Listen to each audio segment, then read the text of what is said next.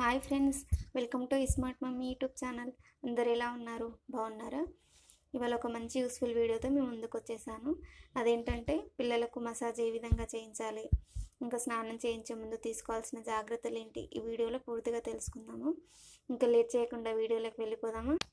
బిడ్డ పుట్టిన కొన్ని రోజుల వరకు అయితే చాలా స్మూత్గా మసాజ్ చేయాలి. ఎందుకంటే వాళ్ళు చాలా సెన్సిటివ్గా ఉంటారు తట్టుకోలేరు. ఇంకా క్రమంగా అయితే వాళ్ళు పెరుగుతున్న కొద్దీ అయితే మసాజ్ కొంచెం ఒత్తిడి పెంచుకుంటూ అయితే వెళ్ళొచ్చు. ఇంకా మసాజ్ చేసే ముందు అయితే పీస్ఫుల్గా ఉండడానికి ట్రై చేయండి. ఎందుకంటే కోపం ఉన్నట్లయితే ఎఫెక్ట్ ఆ ఎఫెక్ట్ అనేది పిల్లల మీద పడుతుంది. ఈ విషయం మాత్రం ఖచ్చితంగా గుర్తుపెట్టుకోండి.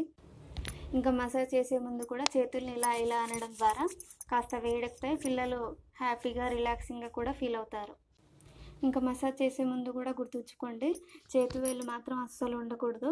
ఎందుకంటే వాళ్ళకు కుచ్చుకుట్టుంది బాగా గోల చేస్తారు. ఇది ఇంకా మసాజ్ చేసిన తర్వాత ఒకసారి ఫీడింగ్ అనేది ఇచ్చి ఒక పది నుంచి పదిహేను నిమిషాలు ఆగి స్నానం చేయించండి వెంటనే చేపిస్తే కనుక వామిటింగ్ చేసుకుంటారు ఇంకా గోరువెచ్చని నీటితో మాత్రమే చేయించండి.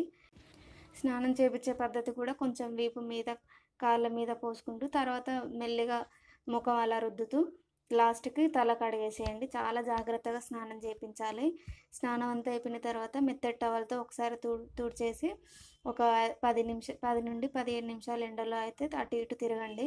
ఎందుకంటే తల మీద అలానే నీళ్ళు ఉండడం వల్ల జలుబు చేసే అవకాశం అయితే ఉంటుంది.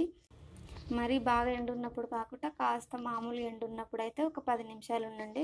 ఎండ తీవ్రత కనుక ఎక్కువ ఉంటే ఒక మూడు నుంచి ఐదు నిమిషాల వరకు అయితే సరిపోతుంది. మీరు కనుక మంచిగా మసాజ్ చేయించి స్నానం కూడా మంచిగా చేయించి కనుక పడుకోబెడితే హాయిగా పడుకుంటారు. ఎందుకంటే బాగా అలసిపోయినట్టు అవుతుంది వాళ్ళకు వెంటనే వితిన్ సెకండ్స్లో వాళ్ళు నిద్రపోతారు. కొంతమంది అయితే స్నానం చేయించడానికి వేరే వాళ్ళకు ఆయాలకు అప్పచెప్తుంటారు. అలా చేసినప్పుడు మాత్రం మీరు పక్కనే ఉండడానికి అయితే ట్రై చేయండి. ఎందుకంటే మనం చూసుకున్నంత జాగ్రత్తగా అయితే వేరే వాళ్ళు చూసుకోరు కదా. ఈ విషయం మాత్రం మీరు ఎట్టి పరిస్థితుల్లోనూ మర్చిపోవద్దు. ఇంకా మీరే స్నానం చేయించడం వల్ల అయితే పిల్లలకు మీకు ఉన్న బాండింగ్ అనేది ఇంకా ఇంప్రూవ్ అవుతుంది. వీడియో కనుక మీకు యూస్ఫుల్ అనిపిస్తే ఖచ్చితంగా లైక్ చేయండి షేర్ చేయండి. అలాగే మరిన్ని వీడియోస్ కోసం మన ఛానల్ని సబ్స్క్రైబ్ చేయండి. Thank you so much.